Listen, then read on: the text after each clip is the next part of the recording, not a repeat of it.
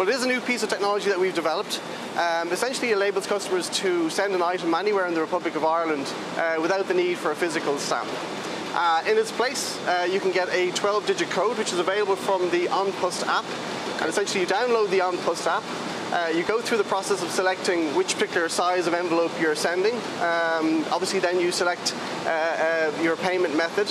And then once you actually complete that task, you'll be then presented with a 12-digit alphanumeric code. Okay. Which you then write onto an envelope. Into the corner. exactly, exactly. Okay, so I have a little question for you here. So if it's Yeah. raining, for example, and the ink starts to run, or for example, Mary down in Portlaoise, you know, we can't read her writing, for example, what happens in that situation then?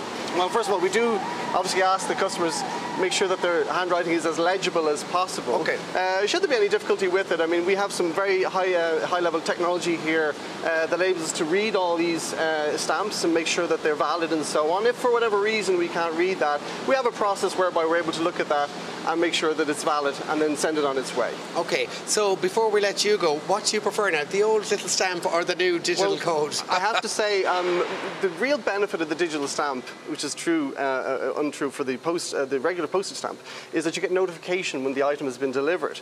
And so that's a really nice feature. That if you send your item, um, we'll pass it on through. Our postal operatives will scan it when it comes to the door, and then obviously customers Now, will the price, the old stamp is 125, this is 2 euro. Correct, It's a bit of a correct. hike, bit of a tight squeeze at the moment. Correct. Well, essentially, it does pay for the postage, the regular postage uh, uh, elements, but it has that added feature of the convenience of being able to get it on your smartphone there and then. Okay. Uh, but also, we also check all the, uh, the digital stamps at the end of the process, scan them, and then we notify the customer that it's arrived. So it's a really nice feature that we think So is, uh, is nice good value for money. Okay, uh, Sarah, for you, the digital stamp or the old little stamp? Oh my gosh, that is such a hard question. Obviously, our traditional stamps are so beautiful, and like you know, they're mini pieces of art. But I think, you know, going forward, because I am such a, Oh, biased. I am biased, stamp. but it would be the digital stamp for, me. For me, guys, it's the traditional stamp. An Post.com for more information. Back to you guys in the studio. I love the old stamp. Deserves to be on a stamp someday. If we get rid of all stamps, Deric will never be on a stamp unless it'll be an NFT code.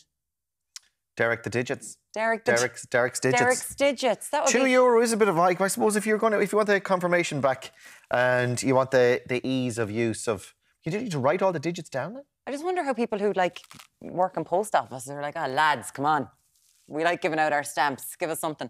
I don't know. What you make of it? 096 111 111.